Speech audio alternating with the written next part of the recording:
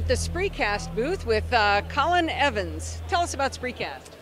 Hi, Spreecast is a social video platform that lets people broadcast together. You can have up to four people on camera interacting, talking. You can swap out different people at different times throughout the Spreecast, and you can broadcast to an infinite number of viewers. The really interesting thing about Spreecast is the viewers can actually interact with the broadcast itself. So they can chat in real time, they can submit questions that the moderator can approve and pull on screen, or they can actually request to join on camera and come on camera with the people who are hosting the show and ask questions and interact. So you get a truly interactive broadcast experience. And how many people can be on screen at the same time? You can have four people on screen at the same time, uh, but you can cycle through many more than that over the course of a Spreecast. So if I was you doing, could be the host and have different people coming in Exactly. and out. I could be a host, or I, I could have a co-host, and we could interview 20 people over the course of the Spreecast, pull people in, let them do their thing, take them out, and then pull somebody else in. So what's the uh, quality of the video? The video, we just upgraded to H.264, which is uh, the most recent upgrade in terms of the quality of video. So it's about as high quality as you can get. Latest And version. uh, is it HD when the uh, video is produced?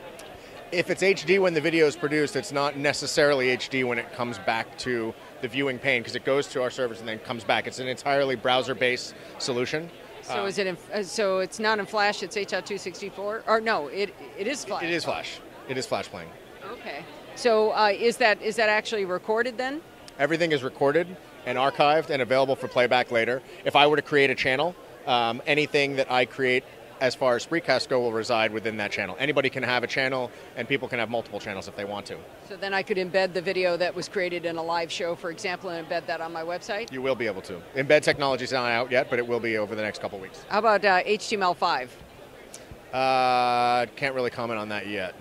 Okay, that's a direction you got to go because everybody's direction we're going. everybody's got to be on the uh, on the iPhones, iPads. Everybody, even uh, what even uh, We're building native apps uh, right now for both the iPhone and the iPad, which will give you the ability to broadcast remotely from a mobile device. So, Oh, that's at- cool. If you look at that fourth square on the screen there, we could actually, in a few weeks, be uh, broadcasting from here and have that video feed be playing in the last piece. So you can imagine the applications for news and for information. You know, you can you can be walking down the street in San Francisco where we are based and see something and broadcast it back and have people all around the world commenting on what they're seeing in a live video feed through this. that's that sounds really interesting. And how much does it cost to use it? There is no cost. All right, I'm liking Spreecast. so that is spelled S P R E E C A S T, and I assume it's Spreecast.com. Yeah, it is. Thank, you very much for the time. Absolutely, appreciate it. Thank you.